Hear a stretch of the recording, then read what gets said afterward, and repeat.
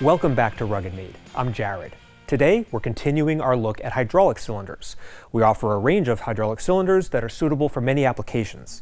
Our cylinders are used on all kinds of machines, from replacing a cylinder on a loader or a dump trailer to custom projects like making a DIY log splitter or a forge press. And we often hear from customers that the process of figuring out which cylinder to get is confusing. The purpose of this video is to help you select the right cylinder. And we're going to focus on getting some key dimensions and specifications. The good news is you don't need to be a hydraulics engineer just to find a suitable cylinder. If you're just trying to get your machine back up and running or finish a fabrication project, this video is for you. We split this topic into two videos. The first video, which you can watch by clicking the link here or in the description below, is an introduction to the main parts of a cylinder.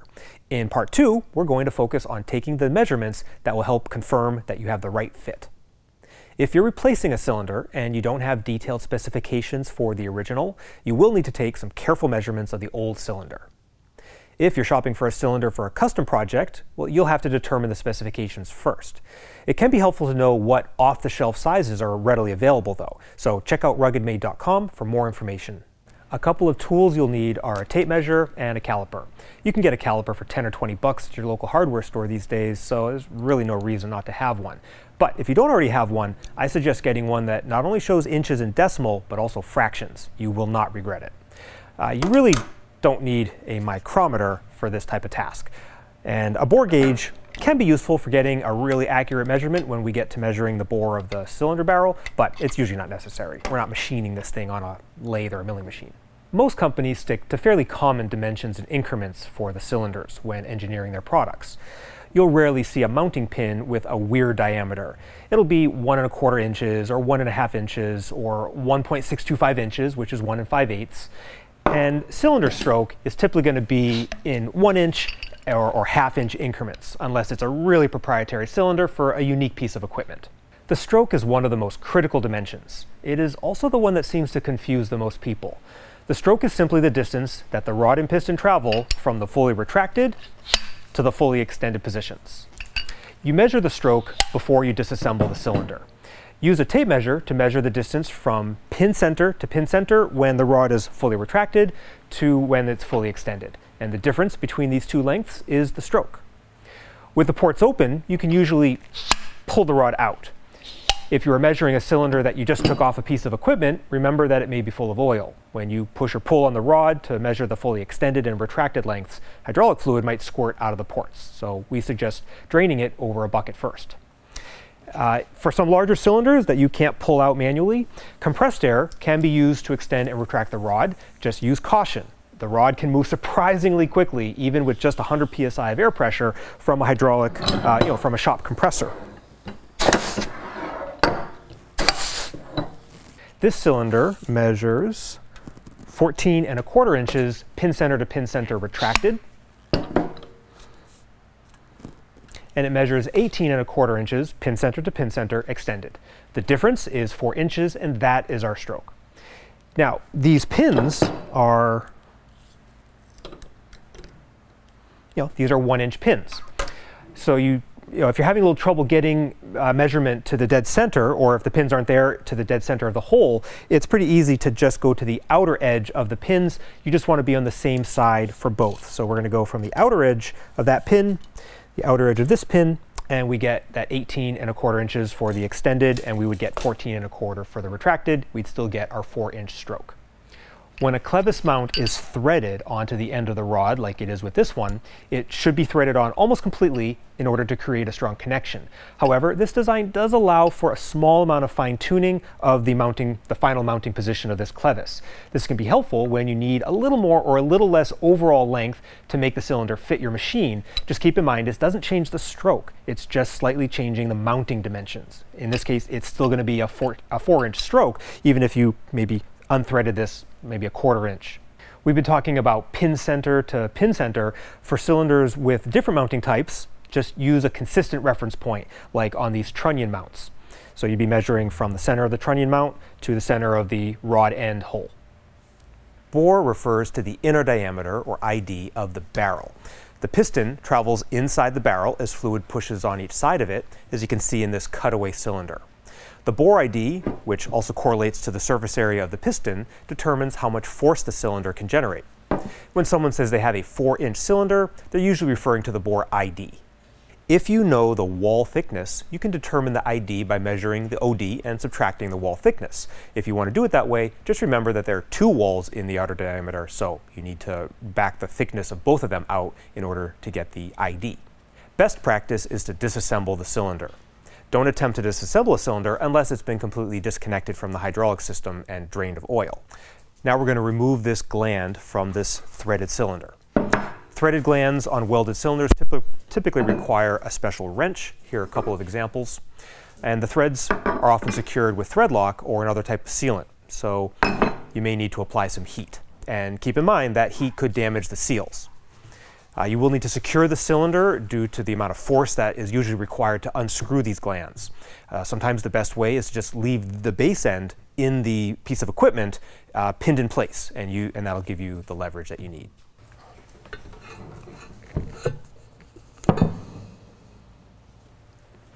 Once you've loosened the gland, you can gently pull it out. Keep in mind some residual oil will probably drain out and make a mess.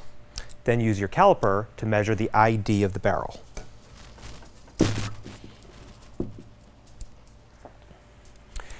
So this is the key dimension that you need to match.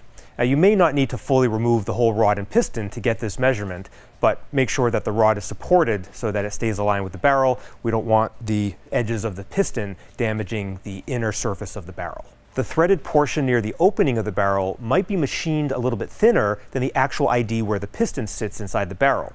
Uh, but generally the dimensions are going to be so close that that'll tell you it, what you have, in this case, a 4-inch ID cylinder.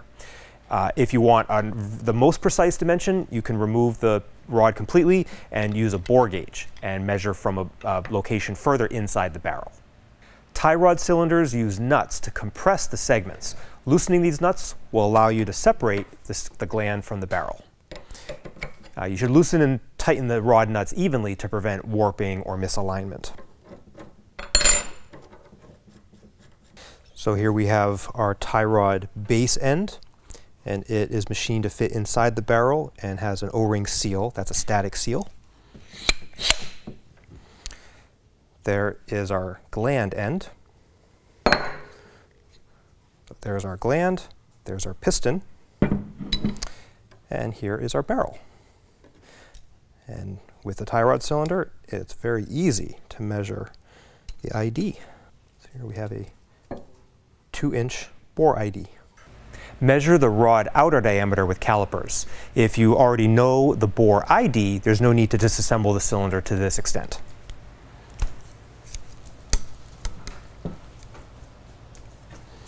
Okay, so that's our two and a quarter inch OD rod.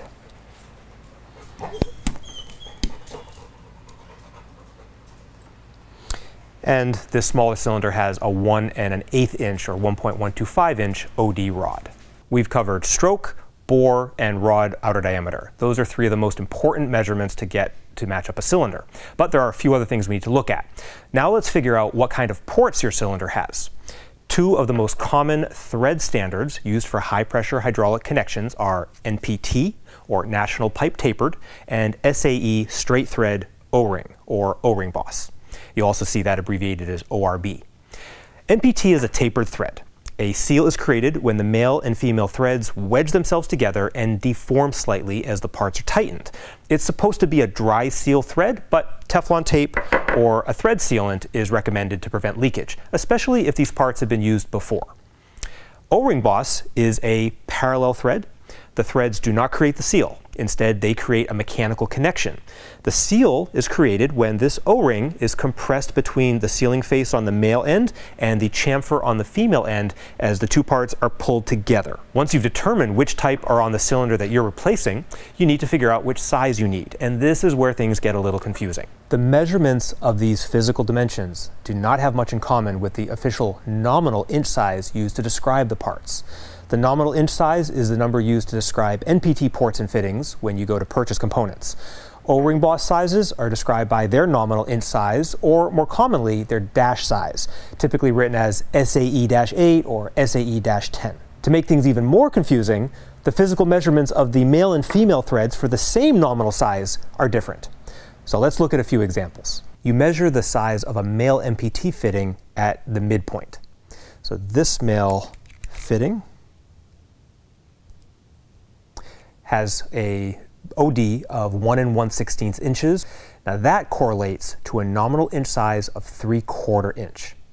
The female thread ID at the opening of the port is 1 inch, or technically 0.98 inches. And its corresponding nominal inch size is 3 quarter inch, which means these two are a match. Let's look at another example. The ID of this port measures 25 30 seconds, or 0.77 inches, and that correlates to a nominal inch size of half inch. This male fitting OD measures 27 32nd inches, which also correlates to a nominal inch size of half inch. O-ring boss is not intuitive either. This female port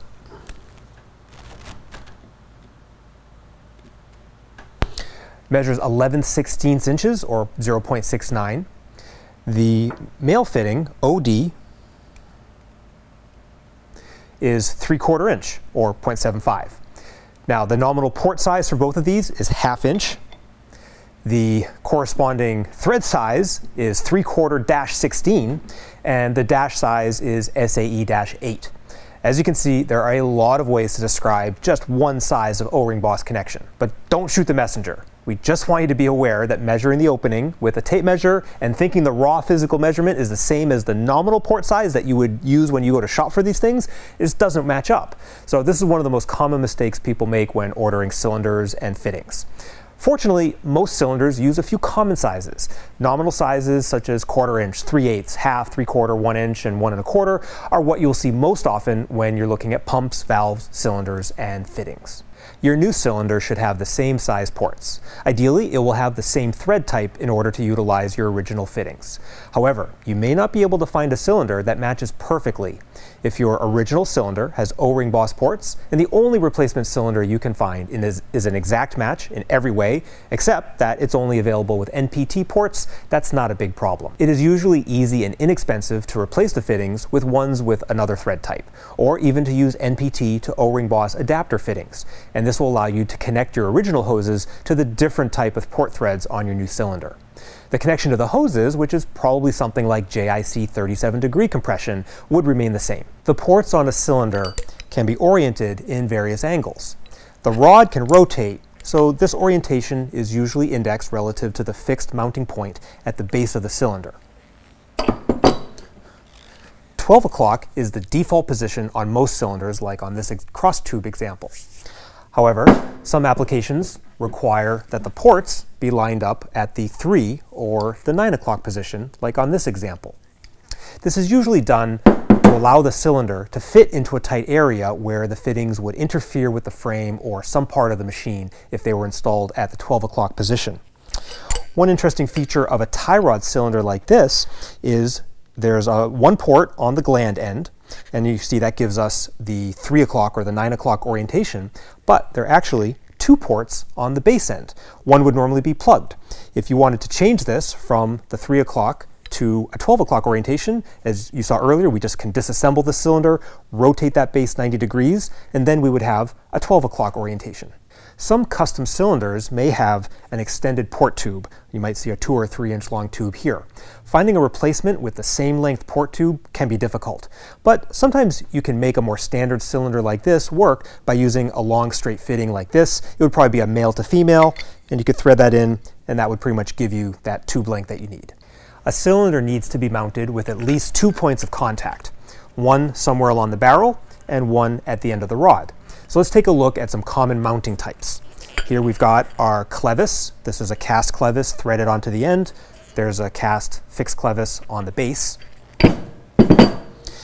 This snowplow cylinder uses pin eye mounts at both ends. Here's our traditional cross tube. Here we've got a ball swivel. All of these examples have a mounting point at the rear end of the barrel, but sometimes cylinders can mount in other ways. So here we have an example of a trunnion mount. And as you can see, these ears are very close to the rod end of the cylinder. Another similar style would be a flange mount where you could weld a plate anywhere on the barrel and attach it to your machine with bolts. And also keep in mind that we looked at pin eye, cross tube, uh, swivel ball, and clevis, but the cylinder doesn't have to use the same type at both ends. There could be a mix of clevis and cross tube. Again, it really depends on how the cylinder needs to mount to the machine. Check the dimensions of the mount. Check the length of the tube uh, or the clevis, check the gap, and measure the diameter for the pin, and measure both ends because, in this case, the tubes are different lengths. Also, some mounts are designed to be greased. If you're replacing a cylinder with a grease fitting like this, make sure that the new one has one as well. Most cylinders mount with some kind of pin, like this. So you would want to measure the length and diameter of the pins. So here we've got a 4.6 inch pin in length and 1 inch in diameter. It's retained with a spring clip. So that would mount in this cross tube, in this pin eye, and also in that clevis. And would, this one would be held in with two spring clips. Some pins are going to be held in with uh, cotter pins. This one would take one cotter pin, and the other end is machined with a flange. That one takes two. Replace pins if they're worn out. Keep in mind your machine may also have a bushing that the pin sits in that needs to be replaced. You may find a cylinder that is almost perfect. Maybe there's a dimension that is just a little bit different than the original that you're replacing. A cylinder that is not an exact match will often work just fine, and this can save a lot of money compared to buying an OEM cylinder, assuming one is even available. When it comes to the stroke, you do need to be careful. If the replacement cylinder has a longer stroke than the original, make sure you will not be overextending a part of the machine in such a way that it could damage itself or interfere with another part. In the case of a log splitter, for example, you wouldn't want to use a 26 inch stroke cylinder on a beam that was really originally meant for a 24 inch stroke cylinder. That would allow you to push the blade right into the foot.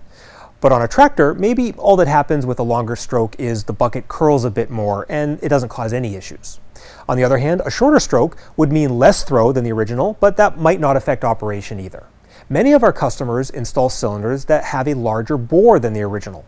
More power is always better, right? Just keep in mind that the larger bore will allow the system to generate more force and that could damage your machine. If you do use a cylinder with a larger bore, the cycle time will be slower. This assumes you're using the original pump with the same displacement or flow rate. That pump will have to move more fluid into and out of the new larger cylinder in order to move the piston, resulting in a slower speed. If you need to replace a cylinder that's one of a matched pair, such as the lift cylinders on a boom, it's recommended that you replace both. If the two cylinders don't match, it could cause problems. If you're only going to replace one of a pair, ensure that the new one has the same specs as the old one. Sometimes a minor modification will allow you to use a replacement cylinder that is not an exact match.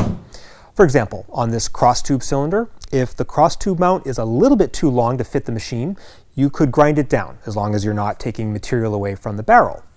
Or if the tube is too short, you might be able to use some washers to shim it, and that would keep it centered in its mount. Or if your original mounting pin is 3 quarter inch in diameter and the replacement cylinder tube takes a 1 inch pin, you might be able to sleeve that down to accept the 3 quarter inch pin. If the ports on the new cylinder are larger than the original, you can often use a reducer fitting. That covers how to measure a cylinder. Armed with this information, we're confident you'll be able to select the right cylinder for your project. Check out our line of cylinders at ruggedmade.com. There are filters on the left-hand side of the cylinder page. Those will help you narrow down what you're looking for based on key specifications. We also provide a detailed schematic for each cylinder. You can view these schematics in the diagrams and drawings section. We are continually expanding our lineup of cylinders. This includes more sizes and more types of cylinders for specific applications. If you don't see what you're looking for, contact our customer service department. Thanks for watching.